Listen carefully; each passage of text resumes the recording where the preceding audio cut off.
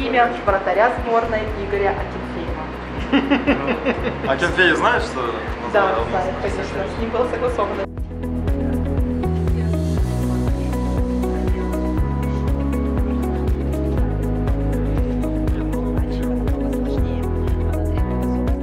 Особенно по- понравилось название.